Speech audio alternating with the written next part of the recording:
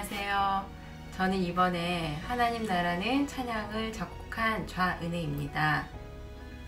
저는 말씀으로 찬양을 작곡하고 싶은 마음이 있었는데요. 어, 그래서 목회자인 남편에게 고린도전서 4장 20절 말씀으로 가사를 붙여달라고 했습니다. 어, 작곡을 할 때마다 언제나 찬양의 주제는 하나님 나라였습니다. 제가 사랑하는 사람들이 먼저 가신 하나님 나라, 어, 주님 계신 하나님 나라, 믿는 모든 사람의 소망이기도 하지만 저의 소망이고 삶의 이유이기 때문입니다.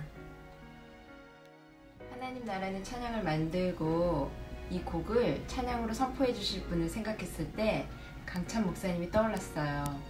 어, 마침 작년에 뉴욕 집회차 오신 강찬 목사님과 우연한 기회로 만나 뵈면서 가까이서 뵙고 교제하면서 더 큰 확신이 생겼고요. CD를 통해서 만나던 목사님께서 제가 만든 찬양곡의 가수시라니 꿈만 같은 사건이 생긴 것 같습니다. 음, 또 하나님 나라를 편곡해준 박연옥 형제님은 강찬 목사님 통해서 알게 되었는데요. 어, 그 실력은 이미 알려지신 분이시고 어, 대화하면서 그 신실한 모습에 작업을 즐겁고 감사하고 편하게 한 것 같습니다. 제가 뉴욕에 있어서 카톡으로만 작업을 진행해야 하는 어려움이 있었는데요. 매 순간순간이 우연이 아닌 하나님 은혜와 인도하심을 순간마다 느끼는 그런 귀한 시간이 되었어요. 찬양을 통해서 기대하는 마음이라면 찬양 그대로이고 말씀 그대로입니다.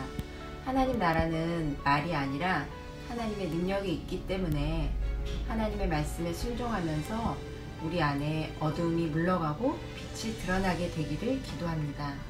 어, 또 더군다나 요즘같이 전쟁과 질병과 갈등이 가득한 세상에서 낙심 가운데 있는 사람들이 어, 이 찬양을 통해서 참된 샬롬과 평화를 간직하게 되기를 소원해 봅니다.